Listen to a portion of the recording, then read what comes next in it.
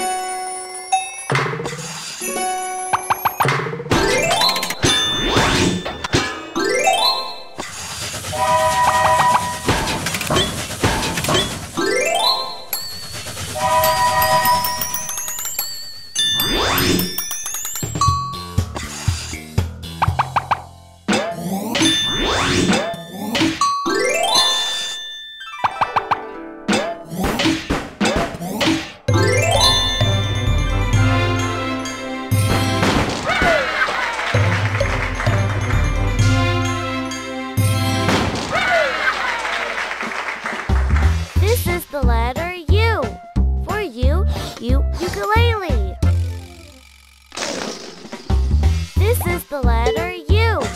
For you, you unicorn.